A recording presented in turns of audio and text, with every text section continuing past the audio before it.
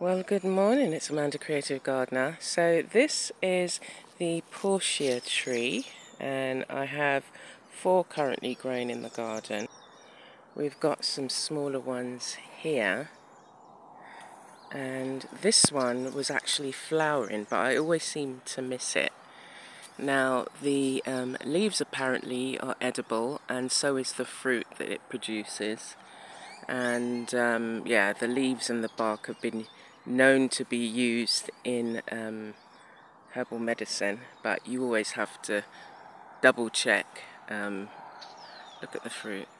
The flowers are really pretty. The ones that we have are red in colour, although you can get a yellow variety. And this is the smallest one growing. They do thrive in full sun, so I need to, um, it kind of gets sun here about one, one-ish.